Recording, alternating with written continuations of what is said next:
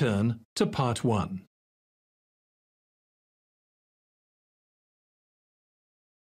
Part 1. You will hear a conversation between a representative whose name is Don and a prospective member of an automobile club.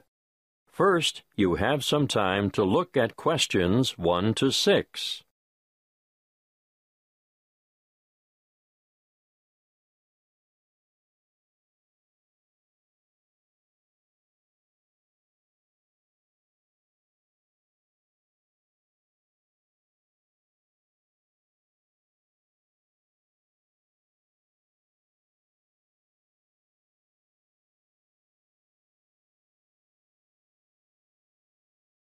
Now we shall begin.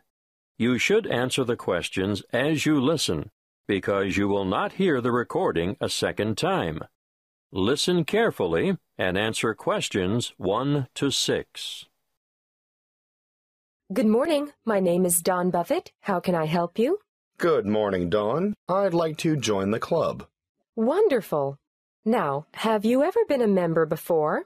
Yes, I joined after I left college, and I was a member for seven years before I let my membership lapse when I went abroad. Do you have your old membership card? No, sorry, I threw it out when I moved. Have you got any other form of identification on you?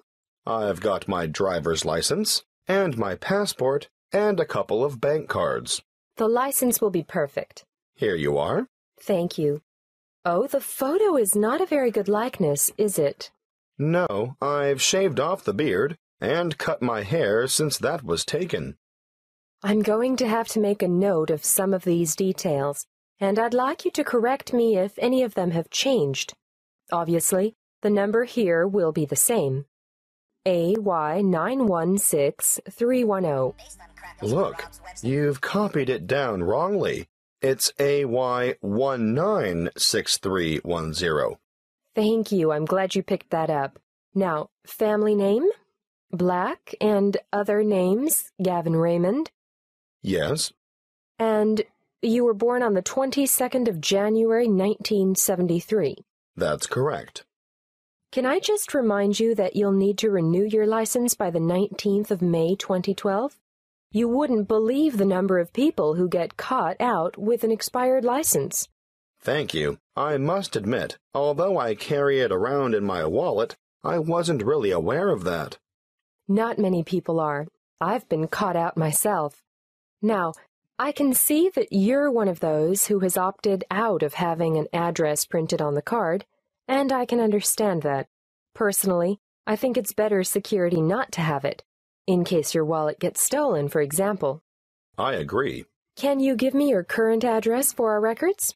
Yes, of course. I live at 29 Sunset Street, Meadowbank.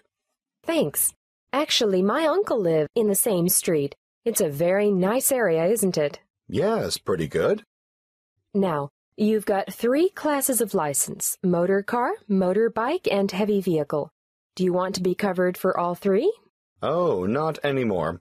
I had a motorbike when I was a student, and then, before I went abroad, I worked as a truck driver for a while. But I never want to do that again. These days, you'll only find me behind the wheel of a car. Well, that's all done. Now, for one final question. What's that? I need to ask you whether you've ever had any driving or other convictions or endorsements on your license. Well, I've had a few parking tickets, We don't count those. and I haven't had any endorsements, but I do have a dangerous driving conviction from back in 1993. I was young and inexperienced, and going too fast in wet weather, and I slid off the road and hit a power pole. Well, I have to make a note of that, but you're lucky. Because it's over 15 years ago, it won't be held against you. Before you hear the rest of the conversation, you have some time to look at questions 7 to 10.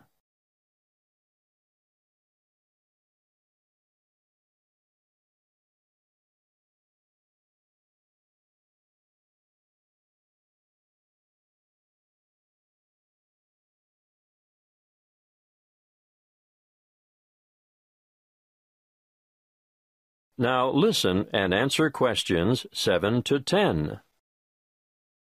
We've changed quite a lot here at the Royal Car Club since you were last a member. Oh? We now have four different levels of membership, starting at blue, then moving through bronze to gold. What does that mean exactly? Well, you get a different level of service and different benefits depending on what you choose. Of course, that is reflected in the annual fee. The more benefits, the higher the fee. I see. The standard club care comes with a 5% discount at bronze level and a 7.5 discount at silver level. And gold? If you own more than one car, I'd recommend the gold level because you only pay half the fee on your first vehicle. I'm not sure I need that. Well, bronze and silver have 10 and $20 off the insurance fee, but with the gold membership, say you had an accident and your car was badly damaged or off the road for any length of time, you'd be eligible for car hire at no extra cost. Hmm, that's good. There's one more thing. If you need to borrow money to purchase a new car, we offer personal loans at a reduction off the general applicable rate. These start at 0.25%, go up to half a percent at bronze level, and increase to 0.75% at the next level. Gold has a whopping 1.25% reduction on the applicable rate. Well, that is something I should consider, perhaps. Thanks for your help. I'll think it over and let you know.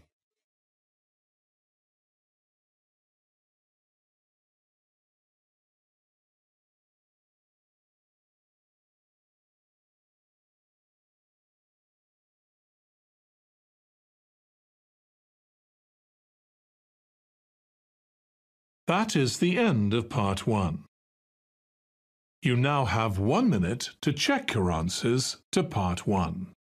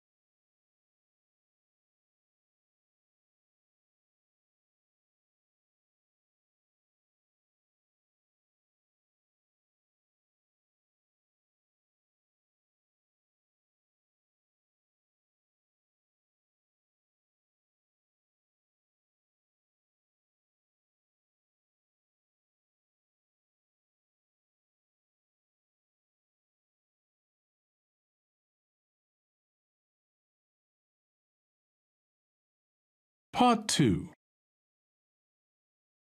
You will hear a guide at the Summerland tourist attraction talking to a group of visitors. First, you have some time to look at questions 11 to 16.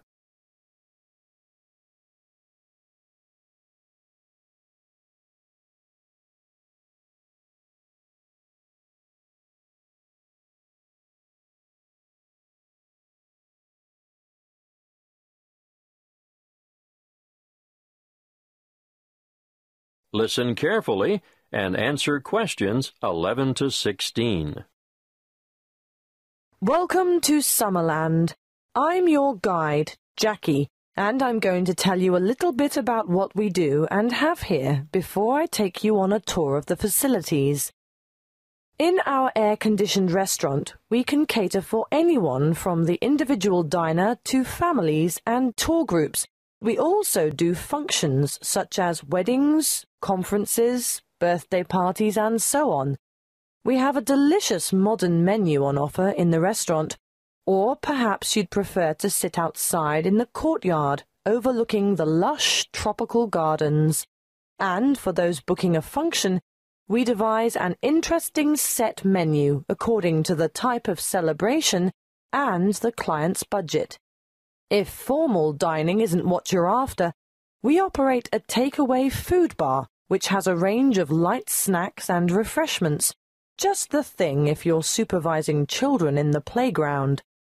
The playground and picnic area makes a great alternative to the beach. If you've remembered to bring your bathing suit and a towel, you can cool off in the water spray park. Parents can sit back, relax, and enjoy a coffee while the kids have fun in our fully fenced, shady playground and picnic area. What a way to make the most of the warmth and sunshine we have here in abundance. The older children will love to visit the historic cottage with their parents. This was the original homestead on the property and is now preserved as a museum with an educational DVD and cinema room. You'll find the information centre here also, and you'll be able to pick up some glossy brochures to take home with you and show your friends. Don't worry, we have more than enough leaflets for you to take home. Visit the gift shop and you'll find an enormous variety of local products, fine foods and handicrafts on sale. Some say that this is the best displayed and priced shop in the region. There is more to be admired and purchased in the garden nursery, which has an extensive range of flower pots, indoor and outdoor plants, statues, and all kinds of other garden accessories to adorn any home or garden. While we're on the topic of gifts and such, I must mention the woodcrafting shed and urge you to take a look at the amazing products that the woodcrafting team produces there. You'll be able to watch them at work and buy anything they've made. The toys they produce are not only original, but some of the finest craftwork you'll ever see. Take your little ones by the hand and keep an eye on them, because they'll want to play with these but they can't be played with unless they're paid for. Last but not least are the orchards. The Summerland tourist attraction is actually a working farm with over 40 hectares of macadamia and avocado trees. The macadamia nuts are picked by machine from April through to September. The avocados are grown, hand harvested, packed, and marketed on site. Before you hear the rest of the talk, you have some time to look at questions 17 to 20.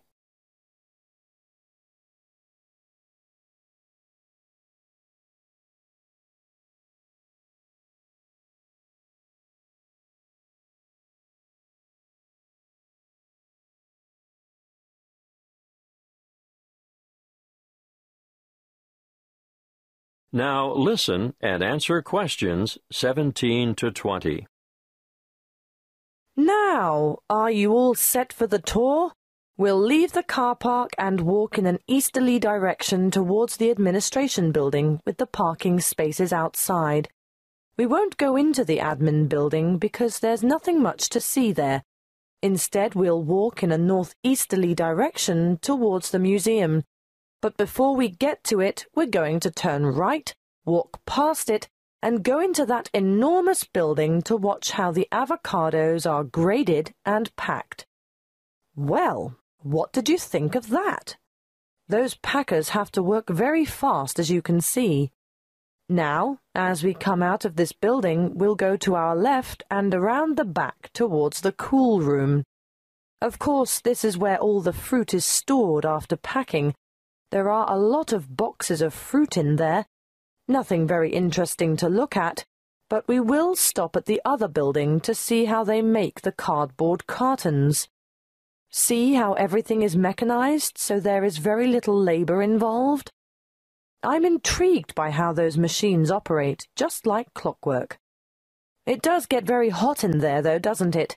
Which makes the thought of a peek inside the cool room quite attractive.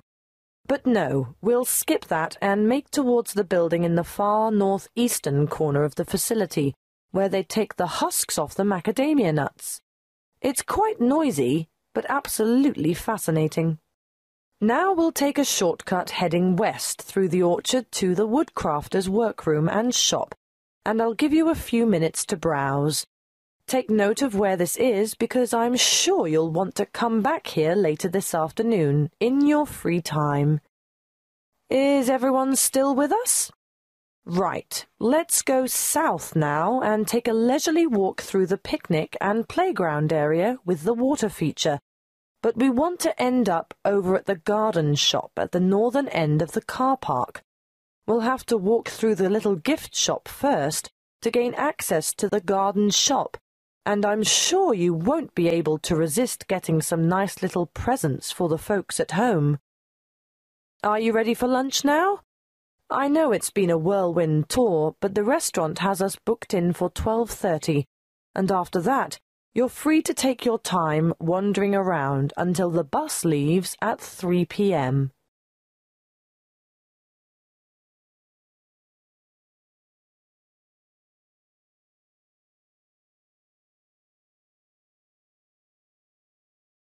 That is the end of part two. You now have 30 seconds to check your answers to part two.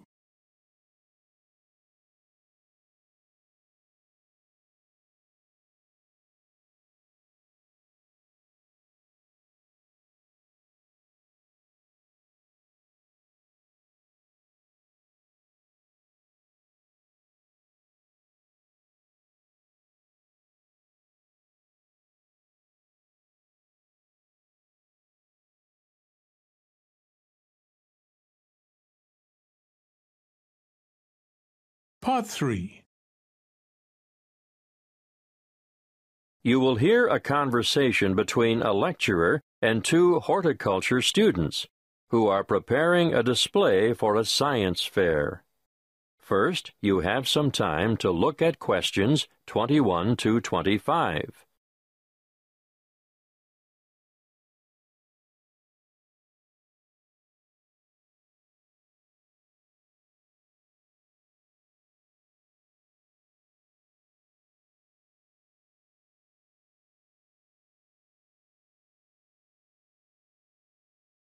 Listen carefully and answer questions 21 to 25. Good morning, Annie. Tony, how are you? Fine, thanks. Well, tell me what you have here. We thought we'd look at different methods of hydroculture. Uh-huh. In the true hydroponics method, the roots are bathed with water and nutrient solution while support for the plant must be provided above the container. And alternatively? Alternatively, the plants can grow with their roots in a substratum, such as sand, vermiculite, or LECA granules. LECA stands for Lightweight Expanded Clay Aggregate, and vermiculite is. Thank you, Tony. I know what vermiculite is, but you should be prepared to give details about all these things to the visitors.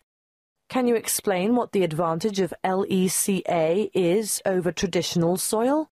It's a natural product, manufactured from clay. It's colorful, lightweight, and perfect for allergy sufferers. That's right. Now tell me why. Because it's clean and hygienic, bacteria and soil diseases don't get a chance. Well, you could say that on this chart here, ideal for household plants. And we'll point out that the growing medium itself makes no contribution to feeding, which is provided in solution with the water. Good. Now tell me what you've got here. This is a simple version of the first method, using a wide neck jar which we've filled with water and nutrients, leaving space at the top. As the roots need to be in darkness, We'll cover the sides of the glass with brown paper later. How did you get the plant through the cork? We made a hole through the center and cut the cork in half so we could fit it around the plant stem, and we padded the hole with cotton wool. Well, that's a good demonstration of the principle involved and ideal for a house plant, but many people will want to see a wider application. What about more plants? We haven't quite finished the preparation yet, but over here you can see a bigger container.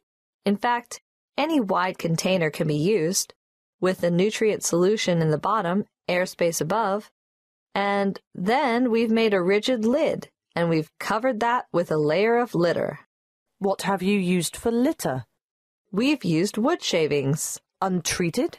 Definitely. That's most important.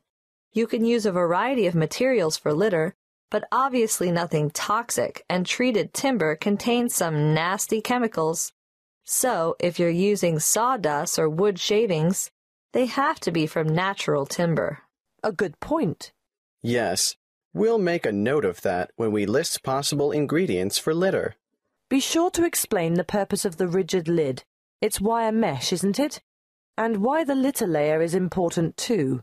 Well, the mesh is just a platform to keep the litter out of the water, and the primary function of the litter is to exclude light from the root space.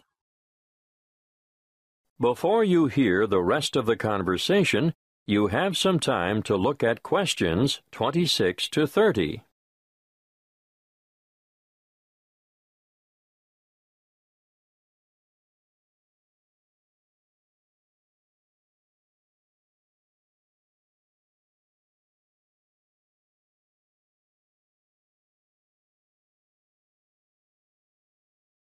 Now listen and answer questions 26 to 30. Hmm. What you have so far is ideal for the home or office, but what about commercial applications? Well, we're going to demonstrate the nutrient film technique, which is popular with some commercial growers, particularly for the cultivation of crops such as runner beans and tomatoes. Producers would really like to see some innovation in the cultivation of potatoes and yams too, but obviously, this technique is only suitable for those crops which grow above ground. What about peas? Well, we found peas were awfully tricky to grow using this method, although we're still unsure as to the reason. Where's the exhibit? I don't see it anywhere. Well, that's because we haven't finished it yet, because we're going to have to procure some mature plants first. We didn't think far enough ahead to have started them off earlier, and when we do get them, we'll have to handle them carefully. Yes, because when our model is finished, you'll see how the plants are held in position by a plastic tube which almost encloses them completely and is quite loosely fastened around the stems. Yes. And the feeding or watering system? Well, it's a bit different. On a large scale like this, you need to have the food solution trickle down through the tubes. Yes, but the solution must also be rich in oxygen. And what? It just bathes the roots? That's one way of doing it. What's the other way? You can have the solution moistening a substratum of rock wool at the bottom of the container. Rock wool? It's the same as mineral wool. You know, a lightweight fibrous material, the kind of thing used for insulation. Or you can use a layer of paper fiber. Oh, yes. Something that has the capacity to absorb the solution, right? Well, you do need to experiment a little. For example, we tried coconut fiber. But it just didn't have the properties we were looking for. I see. In our display, you'll only see the basics. The kind of thing that can be done at home in the backyard. But commercial enterprises do need a lot more equipment, and the media used in substrata are constantly changing as new developments are made. The cost of upgrading is ongoing. And there's always the potential of outright failure when changing systems from one you know and understand to an innovative one. Of course, there's no room for guesswork in business. You have to try to get everything right first time.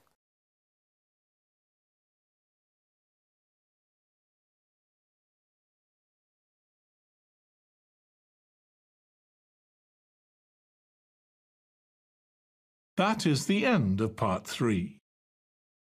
You now have 30 seconds to check your answers to part three.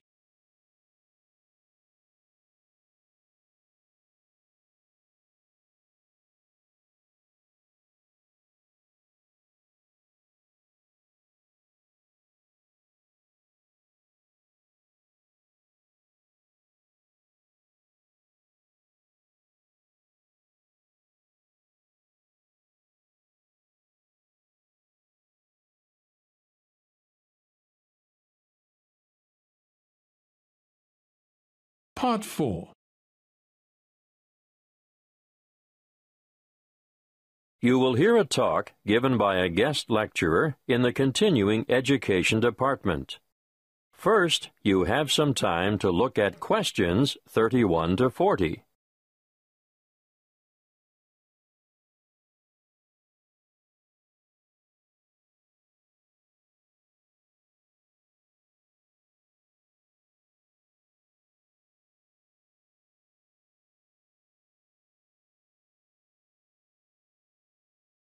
Listen carefully and answer questions 31 to 40. Good evening. I'd like to thank the Continuing Education Department for hosting this series of lectures on people behind the names you thought were fiction. Welcome to this talk on the Grand Old Duke of York. I'm sure you're all familiar with the old nursery rhyme. The Grand Old Duke of York, he had ten thousand men, he marched them up to the top of the hill, and he marched them down again, and so on. But did you know that the Duke of York, immortalized in this popular song, was actually Frederick Augustus, second son of King George III of England and Queen Charlotte? He achieved fame in this way because of the humiliation he suffered at the hands of the French during the Revolutionary Wars at the end of the 18th century. Frederick was born on the 16th of August, 1763, and from the age of 17 he had been trained as a soldier. When war broke out between England and France in 1793, his father, the king, insisted that he should command the British contingent that was being dispatched to Flanders to cooperate with the Austrians and the Dutch. The Duke was a brave soldier, but remember he was only thirty at the time.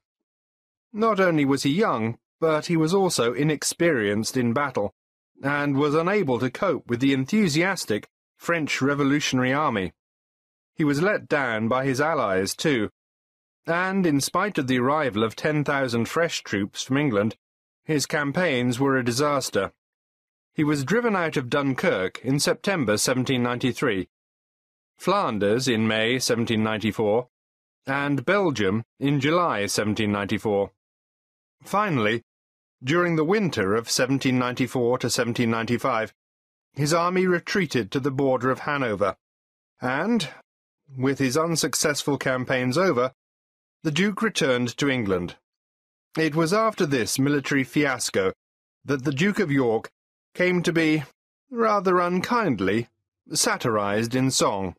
Would you believe, despite all this, King George III arranged his son's promotion to the position of Commander-in-Chief of the Army in 1798, and in the following year he was appointed to command an army sent to invade Holland.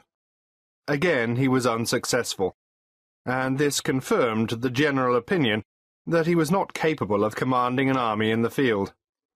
Nevertheless, the rhyme is a bit cruel and harsh, because it doesn't take into account the nature of the soldiers who served with Frederick. All the blame for lack of success should not have been attached to the Duke alone, because the army he had under his command was made up from what is commonly described as the scum of the earth. This is a somewhat offensive term, used to refer to a group of people regarded as despicable and worthless. Who were they, these ordinary soldiers? Well, they were mostly vicious, brutal ex-convicts, or raw recruits, and elderly men. The officers who commanded them were all untrained as military men. In fact, they were anybody who could afford to buy a commission. Uh, but here's the really great thing that, unfortunately, the Duke of York is not remembered for. He realized that this was a hopeless kind of army, and he set about improving conditions in order to recruit higher quality soldiers. He introduced padres. Are you familiar with the term? No? Well, let me explain. You see, members of the British Armed Forces are generally Christians of one denomination or another, and a padre is a Christian cleric or chaplain who ministers to the soldiers and attends to their spiritual needs, without belonging to any particular grouping within the Christian faith. Now, where was I? Yes, Frederick introduced padres, doctors, and veterinary surgeons to the battlefield. Why vets? To attend to the horses, of course. Remember, we're talking about late 18th century battlefields. He was also the founder of the Royal Military College for the training of officers at Sandhurst. Yes, the very same one where the princes and other members of the royal family receive their military training today. Frederick also founded the Duke of York's School in London for sons of soldiers killed in battle. His name is perhaps better commemorated by this school in Chelsea than by the column that stands at the top of Waterloo Steps in St James's Park. In 1807, the Duke was involved in a scandal with a woman and, as a result, resigned as Commander-in-Chief. But he was reinstated in 1811 by his elder brother, the Prince Regent, who later became George IV of England. He continued in this post until his death in 1827.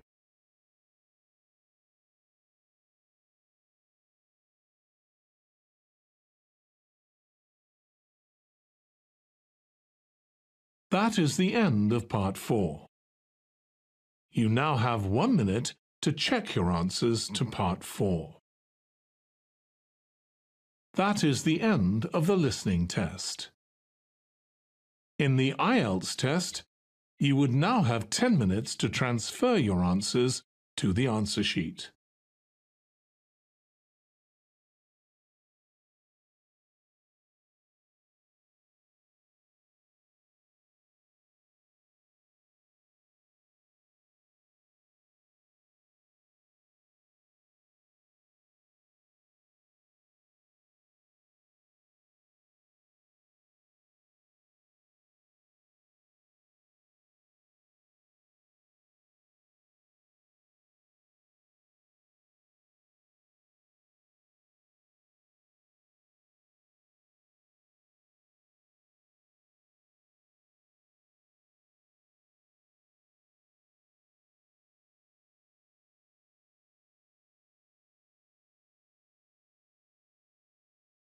Tap into the heart of IELTS reading, identifying main ideas and details in a passage. A secret weapon in your linguistic arsenal.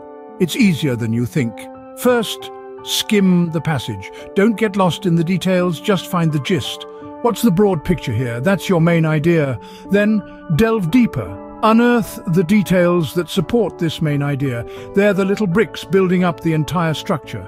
Remember, the devil is in the details, but don't let them distract you. Stick to the main idea. Keep it simple, keep it focused. Master this technique and you're one step closer to acing that IELTS reading section. It's not just about reading, it's about understanding, interpreting and connecting the dots. So go ahead, conquer your IELTS reading. The power is in your hands.